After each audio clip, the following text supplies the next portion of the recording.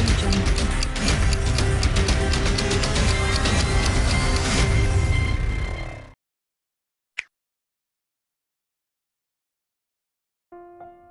अपनी जान देने से पहले सिया कक्कड़ ने अपने इंस्टाग्राम पर अपनी एक वीडियो को भी शेयर किया था।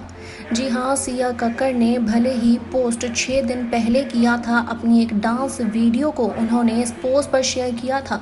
लेकिन इससे पहले वो जब इस वीडियो को शेयर कर चुकी थी, देर रात उन्होंने लगभग 24 घंटे पहले ही अपनी इसी वीडियो को स्टोरी पर डाला था, जहाँ उन्होंने शेयर किया था अपना ये वीडियो और उन्हें ये वीडियो दिखाना चाहती थी। सिया जो उनके फैंस हैं। सिया ने इस वीडियो को शेयर किया था अपने फैंस तक और वो खुश भी काफ़ी ज़्यादा थी, तभी उन्होंने इंस्टाग्राम पर एक्टिव रहने का सोचा था। और अब ये कहा जा रहा है कि सिया ने अपनी ज़िंदगी का ये कदम उठाया है। सिया ने खुदकुशी की है तो उसके पीछे कोई ठोस वजह ज़रूर होगी, क्योंकि सिया जब देर रात तक बिल्कुल खुश थी, उनकी ज़िंदगी में कोई परेशानी नहीं आई थी तो वो अचानक ही ये कदम सुबह उठकर क्यों उठा लेंगी। इसे समझ पाना सभी के लिए थोड़ा मुश्किल हो रहा है।